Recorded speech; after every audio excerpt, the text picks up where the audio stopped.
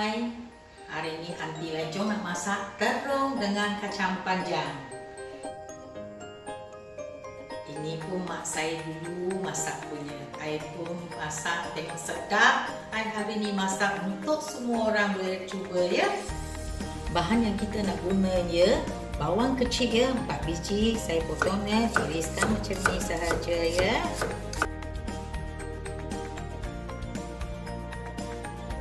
Okey, bawang putih 5 bulas ya.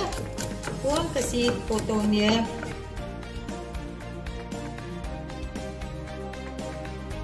Halis ketul macam ni besar cukup ya.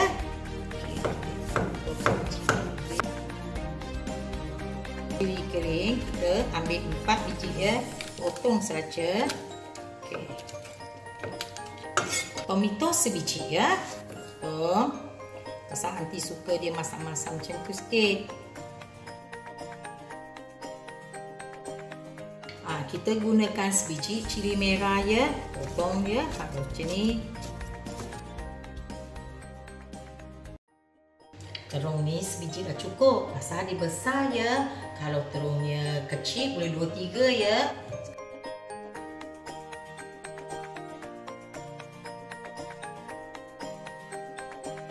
Ya, kita potong ni sebiji kita boleh potong tiga ya. Biar tebas sikit ya.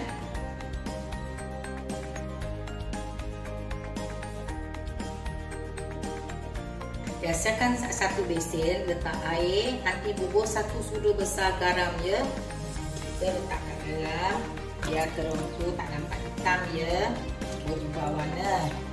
Rendam dia sekejap kacang panjang ni kita dah basuh ya. Keringkan dulu baru kita potong ya. Potong besar panjang begini ya.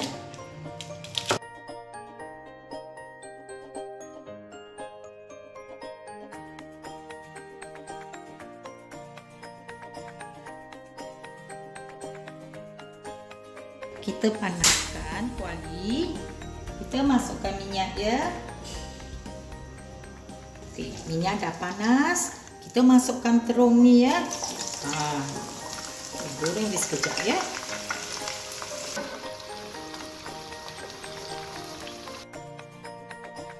Okey, kita balikkan dia ya. Okey, dah kacau lebih kurang 2-3 minit kita goreng dia. Tu, kita ambil asinkan ya. Okey dulu ya.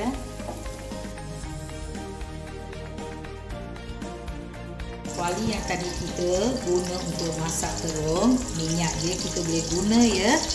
Kita masuk dua keping halia udang ni anti dah bersihkan ya. Lebih kurang 300 gram anti dah potong kulit dia bersihkan kita tulis dia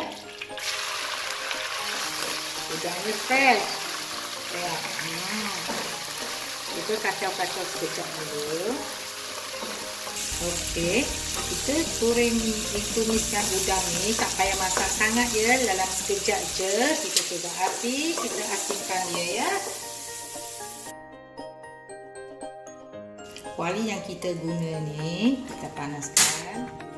Kita tambah minyak sikit saja ya. Panas. Kita masuk air.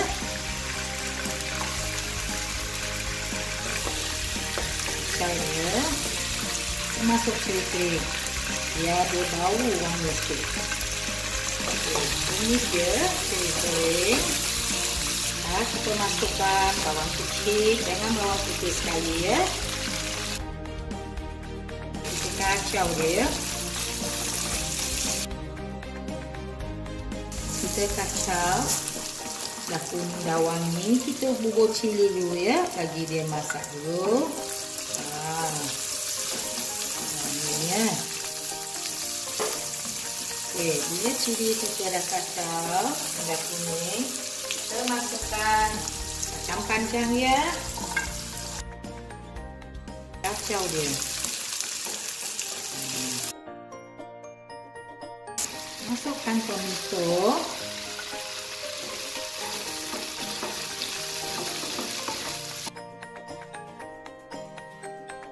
masukkan terung tadi kita yang tadi kita tumis ya, boleh kita.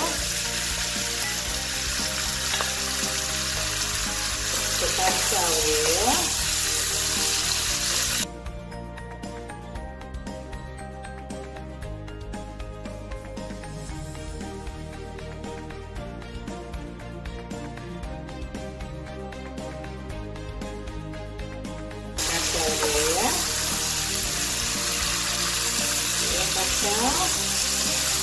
Kemudian kita tuangkan udang kita yang tadi tumis ya. Kita masukkan udang. Sebelum kita bubur garam terasa kita kena cuba dulu. Wah nanti rasa sedap. Pasal kita tersiram pun ada makan kek jadi kita bubur terasa sikit bubur garam sesuatu rasa ya. Okey. Kita kacau dia. Tengok cantik tak gorengnya. Ini anak perempuan saya paling suka makan ini. Sedap untuk keluarga ya. Kita boleh masak ya. Okey, dah siap. Terima kasih.